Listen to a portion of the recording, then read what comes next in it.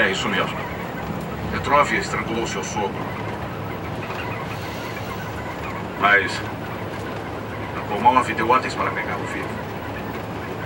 Entendido. Atirar para matar.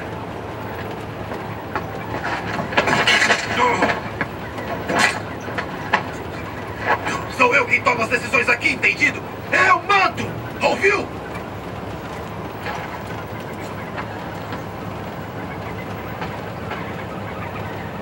Qual o problema dele?